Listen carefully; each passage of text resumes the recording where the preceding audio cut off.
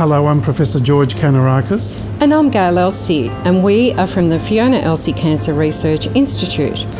Whilst the majority of us will be celebrating Christmas with our families this year, cancer statistics don't go on holiday. Unfortunately, 367 Australians will be diagnosed with cancer each day. Families and friends of patients with cancer are shattered um, by this uh, news, and each day patients continue to die with cancer. The support we've received from the community has been phenomenal. We've had four major research projects with our national and international collaborators that has been world uh, class research. In this Christmas season, we ask you to consider donating to the Fiona Elsey Cancer Research Institute. We thank you and we wish you and your family a wonderful festive season.